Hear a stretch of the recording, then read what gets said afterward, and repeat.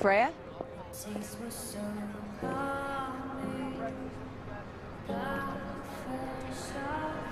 I assume your family's all right?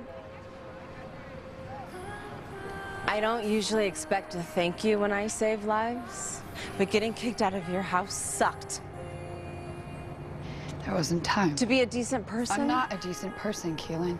You have to know that by now. I am ruthless and callous and vicious when it comes to defending my family. That is who I am. And you know, I didn't care before. It doesn't matter. We're done here. Excuse me? Done? I got distracted today. I was worried about you, and I made a mistake that could have cost lives, and that can't happen again.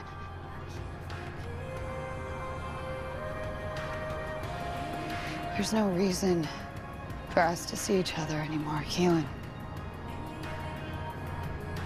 Stay in New Orleans. My brothers will keep an eye on you. To keep me alive? Yeah. If that's what you want, fine. But you should know that when I saw you lying there today, I was terrified. And all I could think about was how I wish I had told you the truth. You are the reason I wanted to stay in New Orleans, Freya. You make me feel understood. Known. And there's always going to be a spell to do or an enemy to fight. But when that is all finished, you deserve someone who gets you.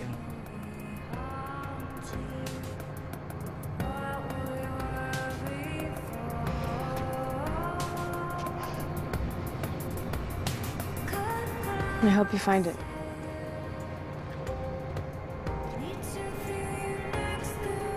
Keelin.